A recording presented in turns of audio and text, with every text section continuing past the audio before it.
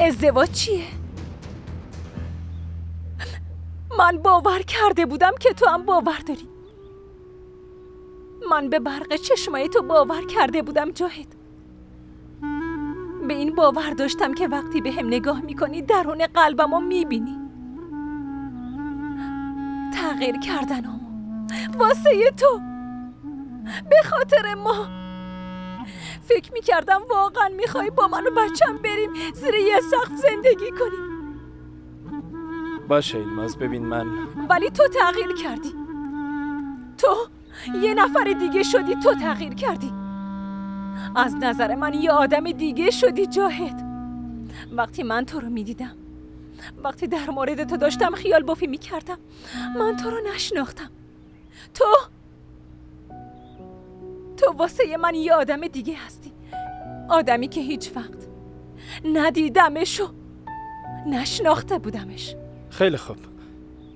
باشه ببین می‌تونیم همه چی رو با حرف زدن. حرف زدیم تموم شد. الان جایی رسیدیم که حرف زدن واسه ما بیفایده است. جاهد التماس می‌کنم یه کاری کن. این زن هر دوتامونو می‌کشه تو رو خدا یه کاری کن.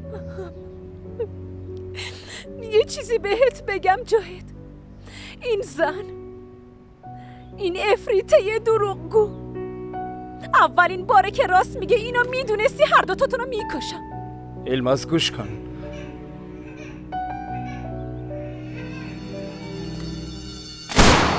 اصلا جاهد.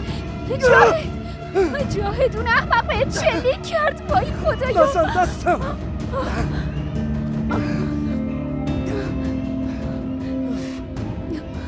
الو الو بله. به دادمون برسی لطفا. روانی به شوهرم شلیک کرده. نسن تو رو خدا به ما کمک کنی. پسرم. من اومدم مامان جون. اومدم عزیزم. پسر نازم عزیزم.